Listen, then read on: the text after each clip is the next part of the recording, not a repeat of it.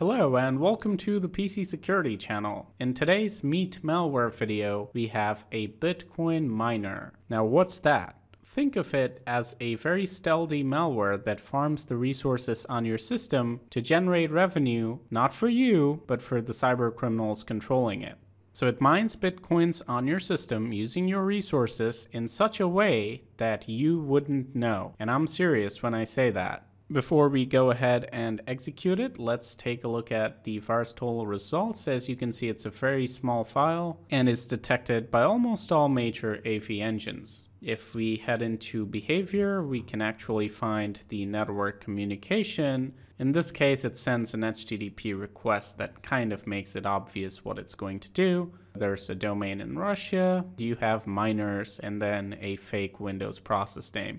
Now let's go ahead and run the file and see what actually happens on our test system. So at this point, the malware has initialized. Let's go ahead and open some tools and keep a close watch on it.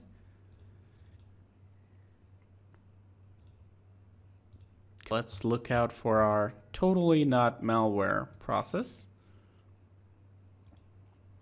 As you can see, it's running wscript. It does take a while to initiate and start the actual mining process, so you'll be seeing a transition right about now. As you just saw, the process terminated and now we have a new csrs.exe running. Quite clearly, this is trying to resemble csrss.exe, which is a legitimate Microsoft process and is present on all Windows systems. The CPU usage is already starting to spike, as you can see, 30%, 20%, 6%, 21%, 38%, and you get the point. It is using a considerable amount of CPU. If we right click and check the properties, we can look at some of the strings in memory. And here we have a clear indication of the intent of the process. cryptonight.eu.nicehash.com.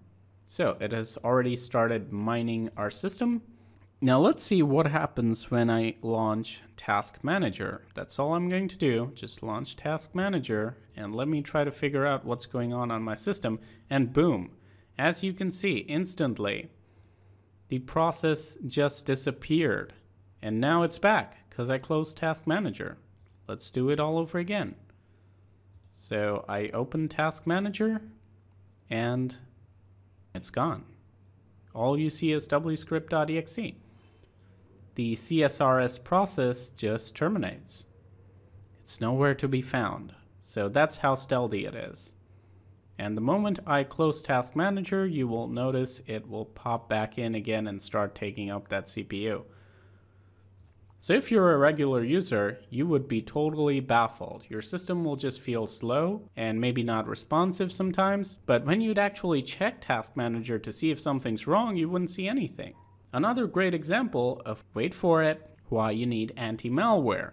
It's really important to understand how stealthy some of this stuff can be. If you are noticing a system slowdown and you can't nail anything, there is a fair chance that it could be something like this. So once again, I hope you found this video helpful. This is Leo from the PC Security channel. Thank you for watching, and as always, stay informed, stay secure.